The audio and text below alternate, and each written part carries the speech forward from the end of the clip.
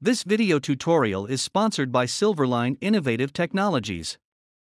Make your software, mobile, and web solutions with the cutting edge technologies with Silverline IT. Check the details in the description below. Hello everyone and welcome to another Fusion 360 tutorial with SA Studio. I hope that you watched our interesting first video of this series. This video is a continuous session of the first one. Now we are going to make this part of the camera. First, you have to draw the front side of the shape by using the sketch option. Then extrude this part according to your camera. For now, I extrude this part into 2 mm as my camera model.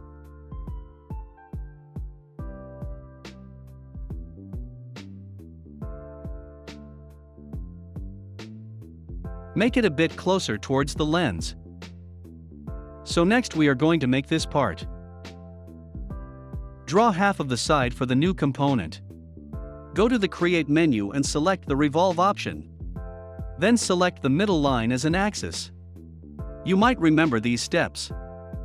Yes, we did it before on our first part of the video.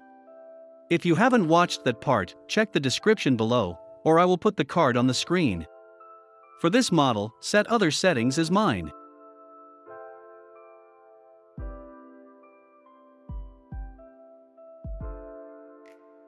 Scale this part that we created first, as it suits your camera model.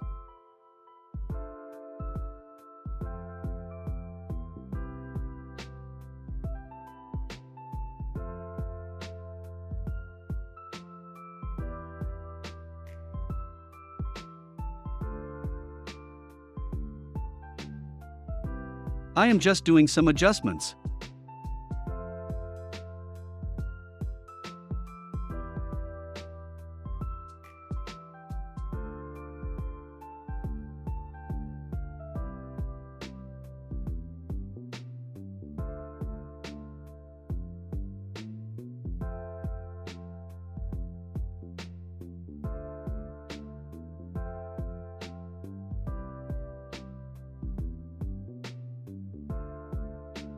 If you just move back to our resource image you can see how this part is arranged with the lens.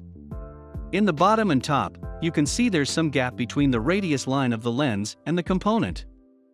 Now we are going to remove that external part of this little piece. Keep these two parts closer, so you can do it easily. Select the top side of this shape and go to the Sketch menu.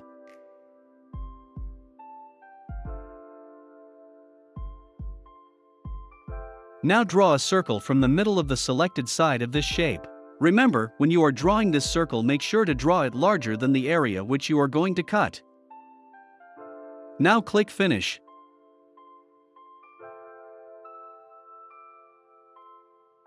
Select the top front side of the circle like this. Then cut the extra part by using the Extrude option. And don't forget to select the operation as a cut.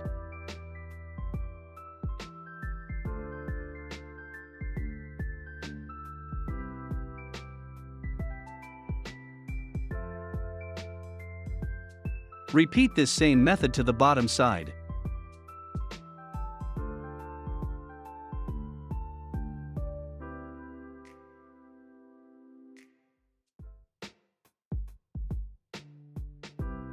Okay.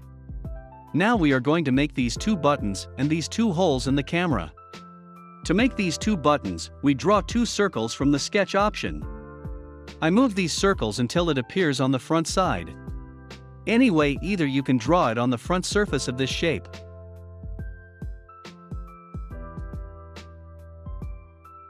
Select the circle line and extrude it as per your requirement.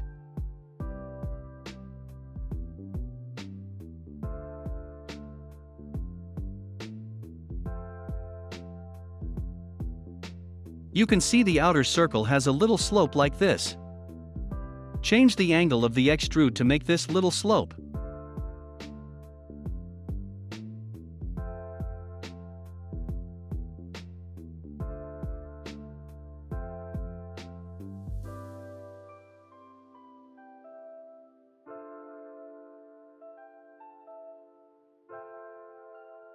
Now we are going to make this center button.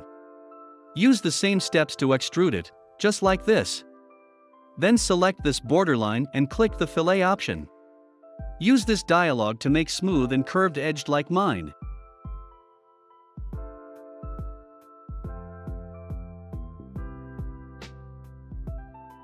Now draw this circle to make the upper hole. As we did before, use the extrude option and set the operation as a cut. We are following some same steps that we did before. I think you all are familiar with that. Make the other two parts as same.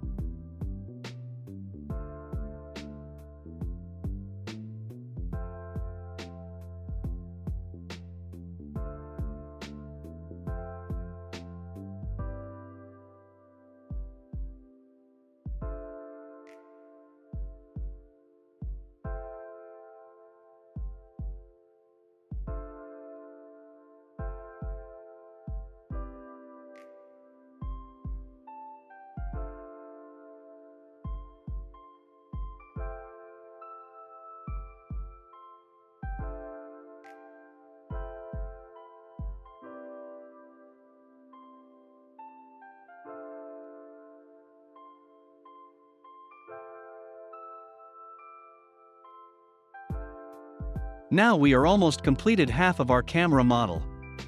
In the next video, we can start to make our main body part of the camera.